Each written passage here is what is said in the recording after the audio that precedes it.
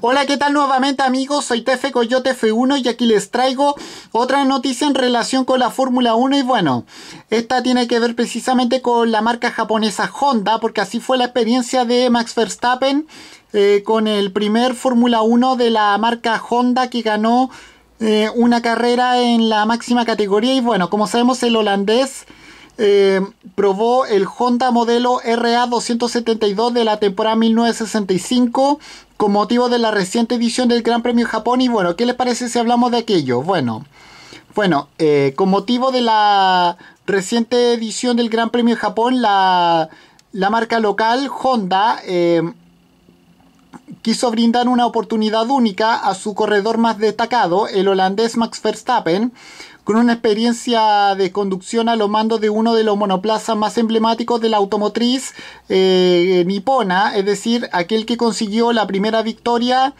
del equipo del equipo japonés en una en una carrera Fórmula 1 y bueno, eh, Max Verstappen es el piloto que le ha dado a Honda sus primeras victorias desde el Gran Premio de Hungría del año 2006. Bueno, precisamente eh, con el británico Jenson Button eh, al volante, ha podido experimentar eh, lo que se siente al volante un monoplaza Fórmula 1 del año 1965. El elegido fue el modelo RA 272 que ganó el Gran Premio de México del año 65 con el estadounidense Richie Gainter.